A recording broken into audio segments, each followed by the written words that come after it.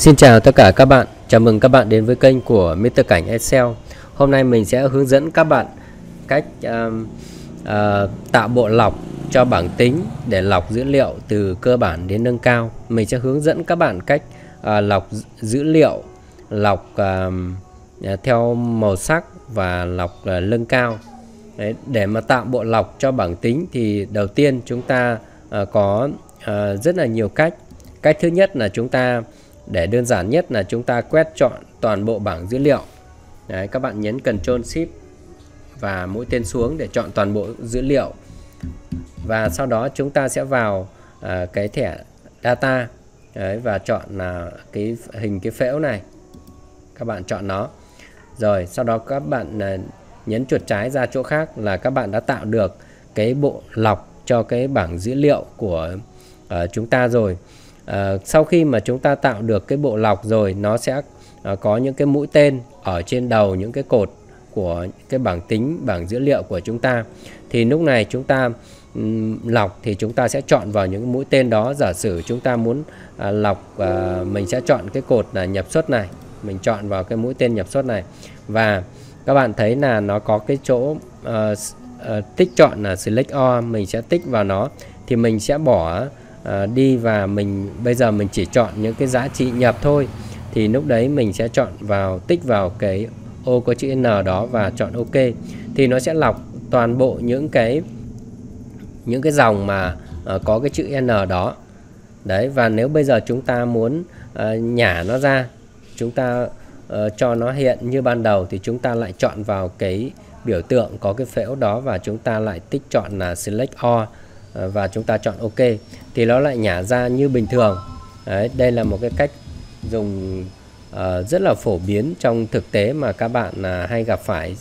Uh, đấy là cách tạo bộ lọc. Thứ nhất nếu bây giờ chúng ta muốn bỏ nó đi thì chúng ta làm như thế nào? Bây giờ đơn giản là chúng ta sẽ chọn vào uh, lại vào cái phễu đó thì nó cái bộ lọc nó sẽ mất đi. Đấy, lúc mà chúng ta tạo bộ lọc thì chúng ta sẽ cần phải chọn cái vùng mà cái bộ lọc nó sẽ xuất hiện ở đâu đó. Còn lúc bỏ thì chúng ta không cần phải chọn. Đấy. Đấy là cái cách tạo bộ lọc lần thứ nhất. À, cách à, thứ hai là các bạn à, chọn cái dòng mà tiêu cái dòng tiêu đề mà các bạn muốn cái bộ lọc nó sẽ xuất hiện ở đó thì các bạn chọn vào nó. Và sau đó các bạn cũng chọn vào à, cái phễu này thì nó cũng sẽ tạo cho các bạn một cái bộ lọc và các bạn cũng sẽ lọc bình thường. Đó. À, nhưng mà cái cách thứ thứ hai này nó sẽ chọn dư ra ờ, ở những cái cột ở phía sau nữa. Thì nhìn đôi khi nó sẽ không không không đẹp. Nếu các bạn thấy nó không không đẹp thì các bạn không không không muốn ờ, làm cái cách như vậy. Thì các bạn à, à, chọn cái cách thứ ba này mà mình sẽ hướng dẫn các bạn này. Cách thứ ba là các bạn quét cái dòng tiêu đề đó. Các bạn quét nó mà không cần phải quét cả bảng. Các bạn chọn vào filter này là các bạn cũng sẽ tạo được cái bộ lọc và nó chỉ nằm ở trong cái phạm vi trong cái bảng tính của chúng ta thôi. Và bây giờ mình sẽ hướng dẫn các bạn lọc theo giá trị.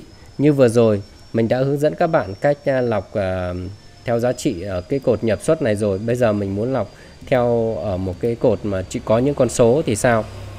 Thì nó sẽ nhiều cái vấn đề hơn. Bây giờ mình sẽ chọn vào cái mũi tên ở đầu cái cột mà mình muốn lọc đó. Và mình cũng sẽ chọn là select all để mình uh, bỏ chọn đi những cái giá trị Ờ, mặc định. Bây giờ mình ví dụ mình chỉ chọn vài cái con số nào đó thôi. Đấy. Thì mình sẽ chỉ việc tích vào những cái ô có những con số đấy và chọn OK. Thì những cái những cái ô mà mình lựa chọn đấy nó sẽ hiện. Còn những cái ô tô những cái uh, ô khác thì những cái dòng khác là nó sẽ uh, không có hiện. Đấy tức là nó sẽ ẩn đi. Thì đấy là cái cách mà lọc uh, phổ biến trong thực tế. Rồi muốn xả ra các bạn cứ chọn OK thôi. Tiếp theo là à, chúng ta à, có thể là à, lọc lọc vì đây là cái cột này là cái cột giá trị số thì chúng ta có thể lọc theo uh, theo những con số được. Thì các bạn chọn là number filter. Đấy các bạn sẽ quan sát sang bên phải. Các bạn sẽ thấy là equal có nghĩa là bằng. Đấy uh, does not equal có nghĩa là không bằng. Greater than có nghĩa là lớn hơn. Ờ, greater than uh, or equal to có nghĩa là uh, lớn hơn hoặc bằng. Less than là nhỏ hơn và less than or equal to có nghĩa là nhỏ hơn hoặc bằng. Và between là là giữa hai số giữa giữa một cái khoảng nào đó. Và top là 10 số. Đấy, 10 số lớn nhất ở bầu đấy thì các bạn cứ khám phá. Um, nó từng cái một. Đấy, bây giờ giả sử như bây giờ mình sẽ chọn một cái à, lọc trong cái khoảng nào đó mình chọn between đi. Đấy mình sẽ lọc cái khoảng những con số từ giả sử như là từ 5 cho đến là uh, cho đến 10 đi ví dụ như vậy mình chọn ok. Đó thì các bạn sẽ thấy là nó sẽ hiện những cái giá trị chỉ có từ 5 đến 10 thôi và những cái số mà ngoài cái phạm vi đó thì nó sẽ không nó sẽ không hiện cho không hiện. Đó thì đấy là cái cách mà à, chúng ta khi đã có cái bộ lọc rồi thì chúng ta có thể lọc như vậy. Rồi tiếp theo là uh, trường hợp tiếp theo mình muốn hướng dẫn các bạn là chúng ta có thể lọc theo màu sắc lọc theo màu sắc được các bạn nhé.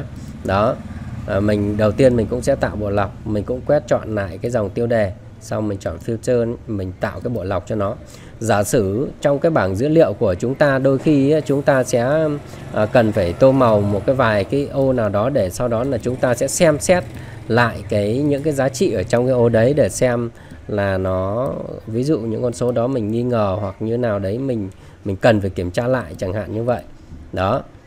Giả sử như thế hoặc là chúng ta lọc ra những cái à, những cái người có cái tính chất đặc điểm như nào đó hoặc là những cái dòng dữ liệu mà có cái Ờ, tính chất nào đó mà chúng ta cần sau đó để chúng ta sẽ ờ, xem xét đến nó thì chúng ta sẽ tô màu những cái ô đó. Và thế thì bây giờ mình uh, cần phải lọc ra những cái màu sắc mà những cái ô mà mình vừa tô màu đó để mình sẽ làm việc với những ô đấy hoặc là mình có thể là copy những cái cái dòng dòng dữ liệu đó ra một cái nơi khác để chúng ta xử lý thì chỗ này chúng ta sẽ chọn vào cái mũi tên ở cái bộ lọc ở cái cột đấy. Lúc này các bạn sẽ nhìn thấy là cái uh, cái cái cái chữ là filter by color nó hiện lên. Nó hiện lên thì các bạn quan sát sang bên phải này các bạn thấy nó có bốn cái màu là chính là những cái màu mà chúng ta vừa tô ở phía dưới vừa rồi. Đó thì bây giờ giả sử chúng ta ờ, uh, nọc những cái người mà được tô màu vàng thì chúng ta chọn màu vàng. Thì lập tức là nó sẽ uh, lọc những cái người màu vàng đó cho chúng ta này tương tự cho những cái màu khác. Đấy màu xanh để chúng ta chọn nó. Đấy rồi. Tương tự như vậy chúng ta chọn màu bất kỳ thì nó sẽ lọc uh, những cái màu đó cho chúng ta. Đấy. Rồi nhưng mà trong thực tế trong thực tế đôi khi á, là cái uh, mình lọc vài uh, vài cái và mình để ở cái trạng thái nó lọc. Trong thực tế thì làm cái um, à, cái bảng của chúng ta nó rất là nhiều cột và đôi khi chúng ta lọc ừ, không chỉ là một cột mà chúng ta còn lọc nhiều cột khác nữa.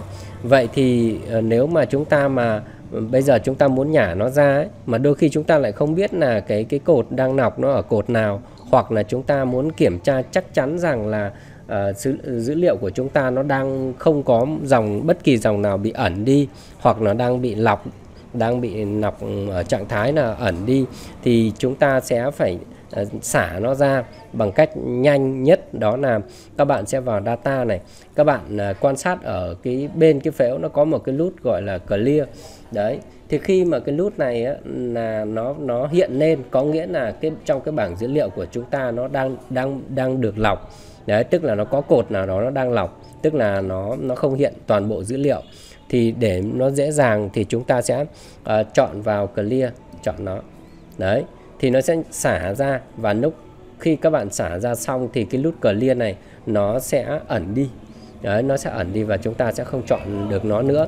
Thì khi mà cái nút này nó ẩn đi thì có nghĩa là cái bảng này á, là không có cột nào uh, đang lọc cả. Đó đấy là cách ờ, cho cái dữ liệu nó hiện lại một cách rất là nhanh chóng. Và có rất nhiều người là khi mà dữ liệu Ờ, của chúng ta nó đang bị lọc ở đâu đó. Giả sử một cái bảng nào đó một người nào đó gửi cho chúng ta đôi khi chúng ta lại không để ý. Đấy, ví dụ chúng ta lại ờ, không có kiểm tra cái cái vấn đề lọc này thì dẫn đến là ờ, chúng ta lấy dữ liệu từ cái bảng đó có thể nó bị thiếu. Là bởi vì là cái lúc mà trước khi mà người đó gửi cho mình thì người ta chưa có xả hết cái bộ lọc ra. Đấy do đó là chúng ta lại cứ thế lấy dữ liệu thì có thể nó sẽ bị thiếu. Cho nên là các bạn hãy kiểm tra lại trước khi mà uh, các bạn uh, lấy dữ liệu thì nên kiểm tra lại.